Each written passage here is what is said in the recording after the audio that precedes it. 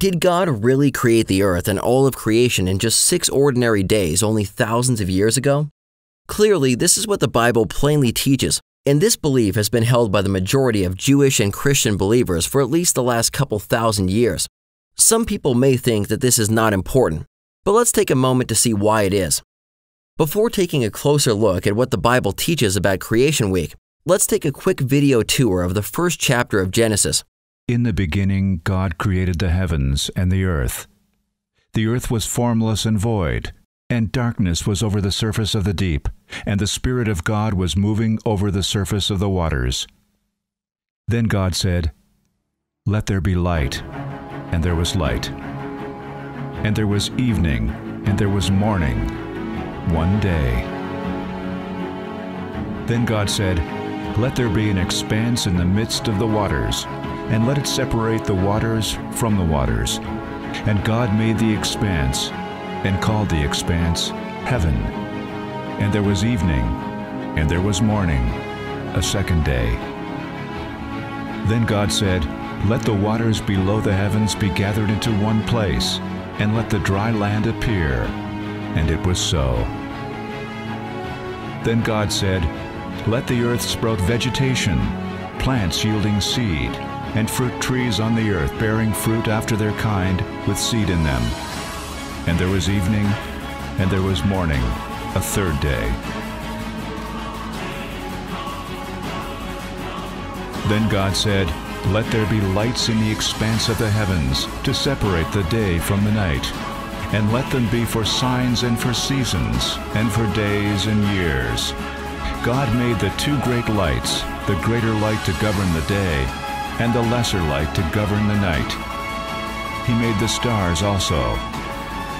There was evening, and there was morning, a fourth day.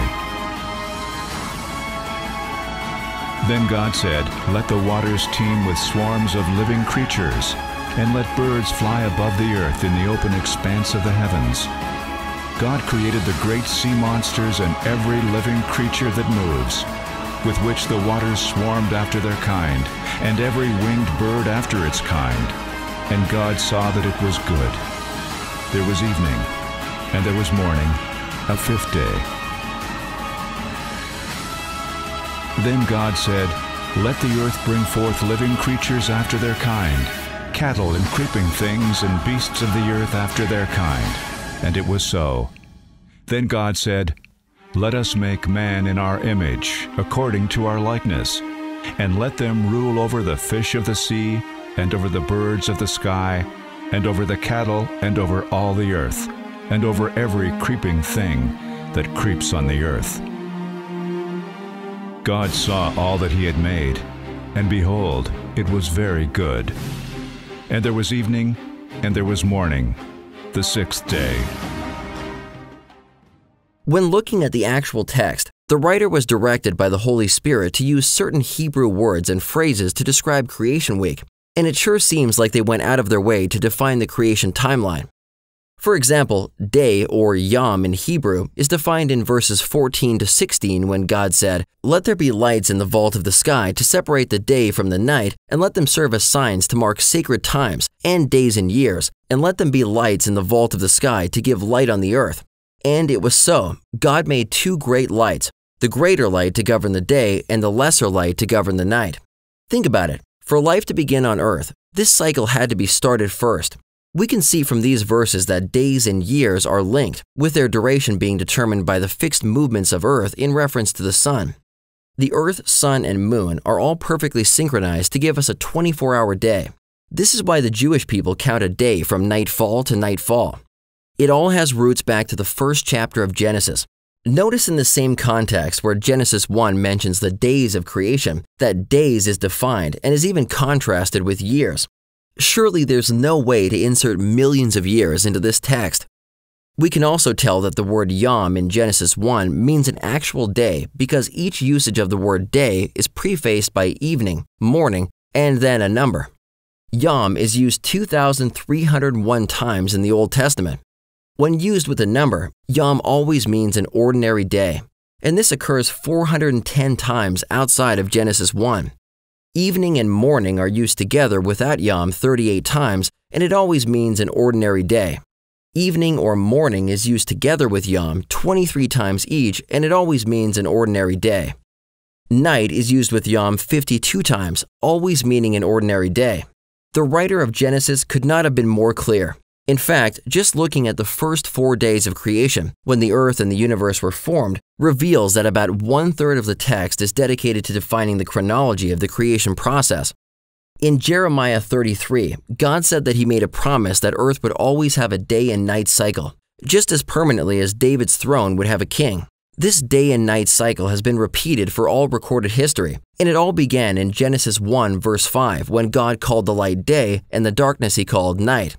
This cyclical succession of light and darkness has always constituted a solar day. Some say the creation account is just figurative. Can this be so? Is it just poetry? Not according to Hebrew expert Dr. Stephen Boyd, who ran a statistical analysis of the text. By looking at the different types of verbs that are used in Hebrew poetry compared to historical works, Dr. Boyd determined that there is a 99.5% likelihood that the Genesis creation account is literal history, not poetry. Also, have you considered that the seven day work week has stood throughout recorded history, despite the times we've tried to change it? God established a pattern around the 6 plus 1, and even solidified it in the fourth commandment where he said, For in six days the Lord made the heavens and the earth, the sea, and all that is in them, and rested the seventh day. Therefore the Lord blessed the Sabbath day and hallowed it. The Bible records the Ten Commandments were even written by the finger of God. What was God trying to convey to the Israelites with this commandment? The only way it makes sense is with a natural interpretation. God created in six real days, and He wants us to model this and then rest a day. God was not saying that He created over six millennia and then rested, and for us to do the same. Genesis 2 is clear. Thus the heavens and the earth, and all the hosts of them, were finished. And on the seventh day, God ended His work which He had done, and He had rested on the seventh day from all His work which He had done. There are no new animals or plants springing into existence today. God finished it all. Sure, we see change, but nothing new. It wouldn't make sense if this part of the Ten Commandments was figurative, couched in between literal commandments like don't steal, don't lie, and don't commit adultery. Next, let's take a look at where the short history of Earth comes from in the Bible. Biblical genealogies go straight back to Adam, who was created on the sixth day of creation. Adam and Eve were the last of God's creative works because they were given the charge by God of being caretakers over all His creation, starting out by naming all the animals not just part of the animal kingdom that happened to be present after millions of years of supposed evolution before humans arrived. We can be certain that Genesis 5 fits into a historical record when it says that Adam lived 130 years and begot a son in his own likeness after his image and named him Seth. Note that this was Adam's son after his own image and that Adam was the one who named Seth. The passage continues by stating Adam lived 800 years after having Seth and that his total lifespan was 930 years. Human lifespans have decreased dramatically after Noah's flood because the effects of our sinful fall were just beginning to take effect in our gene pool, and Earth's atmosphere was different after the flood, as evidenced by different plants and animals in the fossil record that would have had a hard time living in today's atmosphere. This same pattern continues through this chapter, with a father having a son at a certain age, living a number of years afterwards, and dying after reaching a certain age. These genealogies are also mentioned in the New Testament in a historical way in Luke 3 and Jude. Does this sound like poetry or a genealogical record? Summing up these genealogies from Adam to Abraham gives us about 2,000 years. From Abraham to Christ, another 2,000 years. And from Christ to present is another 2,000 years. About 6,000 years total.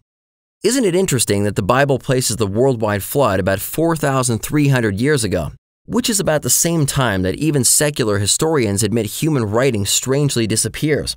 While scholars can debate about possible gaps here and there, even if we stretch this timeline out, adding hundreds or even a couple thousand years, there's certainly not room for millions of years because the genealogies go straight back to Adam, who was created on the sixth day and began his responsibility of caretaker over earth by naming all the animals that God had created.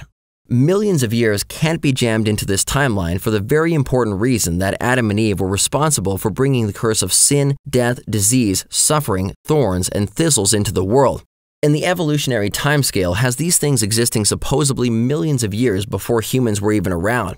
And if these things existed before the consequences of our sin brought them, this makes them God's ideas rather than the results of our falling away from God. This doesn't fit the Bible because God said his creation was very good and all life started out vegetarian before the fall. See the problem? Death, suffering, and carnivorism are the result of the fall of Adam and Eve and were not part of God's original creation.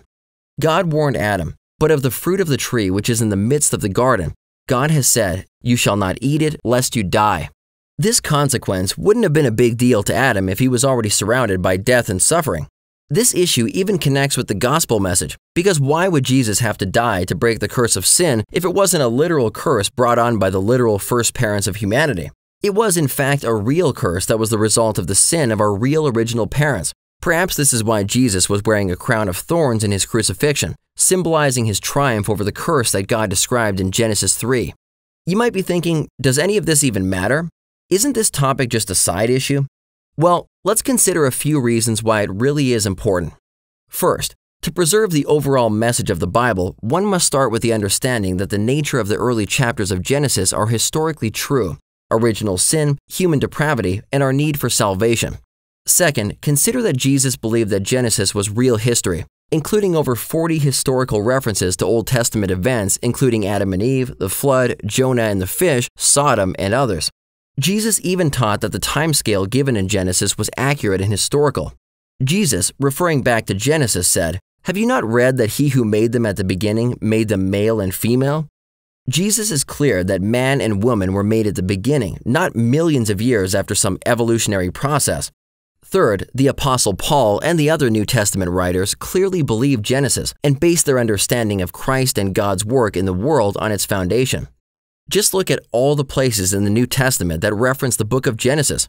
A good example is in Acts 17, where Paul, speaking with the Greek philosophers of his day, said, God, who made the world and everything in it, since he is Lord of heaven and earth, does not dwell in temples made with hands, nor is he worshipped with men's hands, as though he needed anything, since he gives to all life, breath, and all things. And he has made from one blood every nation of men to dwell on all face of the earth, Peter said that we should be mindful of the words which were spoken before the holy prophets and acknowledge that earth was created out of water and then destroyed by water.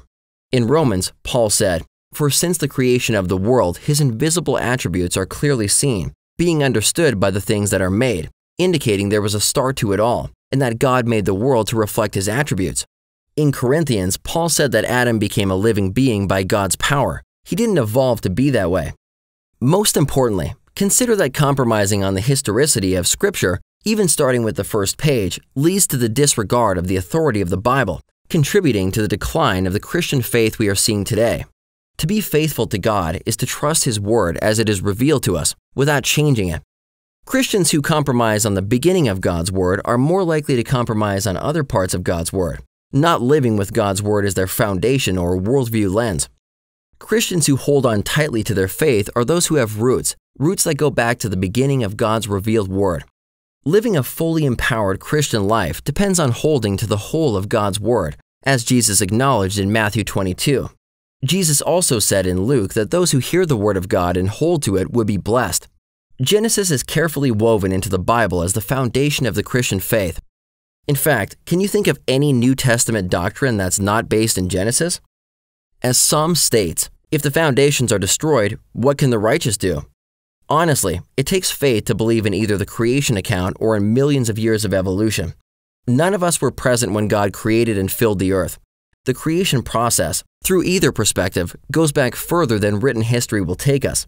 But when you look at the Earth, the Sun, and the planets spinning through space with an incredible degree of precision so that we have days, seasons, years, warm, cold, seed, and harvest, doesn't it look like the book of Genesis got it right? That it was all designed and placed here at the beginning, with this incredibly well tuned universe working in harmony? Genesis 1 shows that God was setting up the earth, the cycles, and systems just like a master planner. It all had to be calibrated from the beginning to start and sustain the life on earth we see today. Days, nights, the monthly cycle of the moon, and the earth traveling around the sun every year.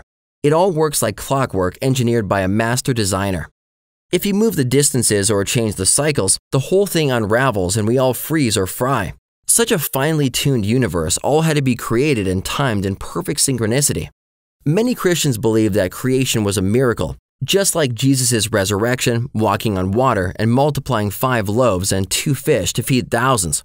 So, is it too difficult to believe that creation was a result of God's command, as the Bible says, and was outside of the natural laws as we know them today? The Bible says that God cannot lie or change his mind, and that his words are permanent and pure, like silver tried in a furnace of earth, purified seven times. And it is this very word that tells us that the world was framed by the word of God, and that the things which are seen were not made of things which are visible. That's because God commanded and they were created, and He commanded and it stood fast. Each of us has a choice about how to frame our worldview. Using man's word or God's word, and how we live our lives stems from what we believe. Because none of us were eyewitnesses, wouldn't it make more sense to go through this life taking God at His word? Are you a Christian student being bombarded with evolution teaching in public school? Looking for answers about what the Bible teaches about creation, the fossil record, dinosaurs? Download the Genesis Apologetics app from the iTunes or Google Play stores for answers to these questions and more.